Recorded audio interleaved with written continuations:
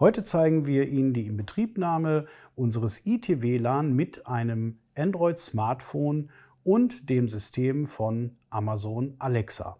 Unser IT-WLAN ist zusätzlich mit einer Innentastereinrichtung ausgerüstet, so dass wir unser Garagentor auch innerhalb der Garage bedienen können. Die Grundvoraussetzung ist natürlich, dass wir uns aus dem Play Store die Amazon Alexa App herunterladen, diese einrichten und den Sprachassistenten schon einmal auf unsere Stimme eichen. Dann haben wir die besten Voraussetzungen, um am Ende mit unserer Stimme die entsprechenden Befehle für unser Garagentor geben zu können. Für die weitere Inbetriebnahme unseres IT-WLAN nutzen wir das mitgelieferte Systemkabel. Dieses Systemkabel hat auf beiden Seiten Stecker. Einen Stecker stecken wir in unseren IT-WLAN, der andere Stecker wird in den HCP-Schnittstellenport unseres Antriebes eingesteckt. Bei Bedarf können wir einen Busscan durchführen. Dieser wird Ihnen auch in weiteren unserer Videos erklärt. Dann gehen wir auf die mitgelieferte Bedienungsanleitung und hier betrachten wir 1.2. 1.2 bedeutet, wir scannen den QR-Code und werden auf eine erweiterte Bedienungsanleitung hingelenkt.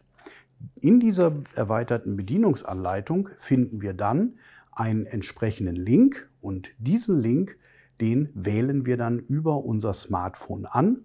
Dieser Link, das ist die https cd.hörmann.com. Hier können wir dann unsere E-Mail-Adresse eingeben und unser Passwort, je nachdem, was von uns gefordert wird oder wie sicher ich mein Passwort gestalten möchte. Wenn wir das Passwort eingegeben haben, bekommen wir zur Bestätigung eine E-Mail als Verifizierung. Hier betätigen Sie einmal den Verifizierungslink, damit wir angemeldet sind. Zur weiteren Einrichtung folgen wir den Anweisungen des Portals. Das bedeutet, wir drehen unseren IT-WLAN einmal um und auf der Rückseite befindet sich eine Taste.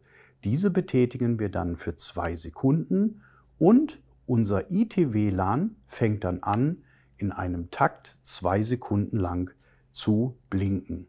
Dieses Blinken bedeutet für uns, wir sind im Einrichtmodus und wir können das WLAN-System des IT-WLAN antippen und haben dann die Verbindung zu dem entsprechenden IT-WLAN. Bitte warten Sie kurz darauf, bis die Verbindung steht. Das wird innerhalb des Systems angegeben. Dort steht dann verbunden. Wenn die Verbindung steht, können wir in dem Portal auf die Taste Weiter klicken. Nachdem wir auf die Taste Weiter geklickt haben, sehen wir dann zur Erkennung die Seriennummer. Das dauert einen kleinen Moment, weil natürlich die Geräte sich abgleichen müssen. Nachdem der Abgleich passiert ist, erkenne ich dort die Seriennummer meines IT-WLAN und kann dann die Taste Weiter antippen. Und dann sehen Sie die Liste der lokalen WLAN, die aktiv sind. Hier suchen Sie sich natürlich Ihr WLAN-System aus und geben das Passwort für Ihr persönliches WLAN-System ein. Jetzt verbindet sich unser IT-WLAN mit Ihrem persönlichen WLAN-System. Auch das dauert einige Sekunden. Dann betätigen Sie wiederum die Taste Weiter. Und hier wird dann ein Abgleich stattfinden zwischen dem Portal und dem IT-WLAN. Sobald der IT-WLAN auf dem Portal angemeldet ist, bekommen Sie einen grünen Haken als Bestätigung und Sie bekommen eine Schaltfläche, wo Sie die Seriennummer sehen und daneben finden Sie einen Stift. Wenn Sie diesen Stift drücken, können Sie eine persönliche Bezeichnung eingeben, zum Beispiel Garage Nummer 1. Dann bestätigen Sie das und Sie bekommen einen zusätzlichen Pop-up mit einem Haken als Bestätigung und damit ist unsere Registrierung abgeschlossen. Wir öffnen die Amazon Alexa App und tippen auf die Schaltfläche Geräte.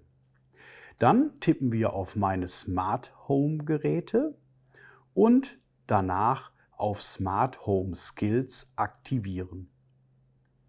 Dann tippen wir oben rechts auf die Lupe und geben dort den Namen Hörmann ein. Danach tippen wir auf Hörmann Tor als Skill und tippen zur Verwendung Aktivieren.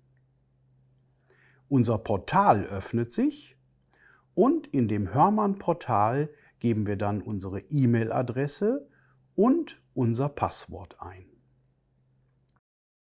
Nachdem wir das getan haben, können wir die Taste Fortfahren betätigen. Dann wechselt unser Smartphone in die Amazon Alexa App und wir bekommen eine Meldung, dass das Tor verknüpft wurde. Wir tippen dann auf die Schaltfläche Nächster und Alexa sucht nach Geräten. Auf dieser Seite kann es bis zu einer Minute dauern, dass die entsprechenden Anzeigen bezüglich der Geräte angezeigt werden. Jetzt bekommen wir die Anzeige, dass das ausgewählte Gerät verknüpft wurde. Und wir betätigen die Schaltfläche weiter. Jetzt wird von uns gefordert, dass wir den Anmeldecode eingeben. Dazu betätigen wir die Schaltfläche weiter und suchen uns einen vierstelligen Anmeldecode aus. Dieser Anmeldecode wird benötigt, um unser Garagentor zu öffnen. Diesen Code geben wir jetzt ein und werden aufgefordert, den Code noch einmal zur Bestätigung einzugeben. Zum Schließen brauchen wir keinen Anmeldecode. Wir tippen auf Weiter und wählen eine Gruppe aus, in der sich unser Gerät befinden soll. Vorzugsweise in unserem Fall Garagentor. Dann tippen wir auf zur Garage hinzufügen und tippen auf Weiter. Wir bekommen dann eine Meldung, dass wir auf eine Taste Fertig drücken müssen, damit dieser Vorgang abgeschlossen wird. Danach sehen wir die Bedienoberfläche und können über unsere Stimme Alexa bedienen. Alexa, Garage 1 öffnen. Wie lautet dein Sprachcode für Garage 1? 1, 2, 3, 4. Wird geöffnet. Einen Moment.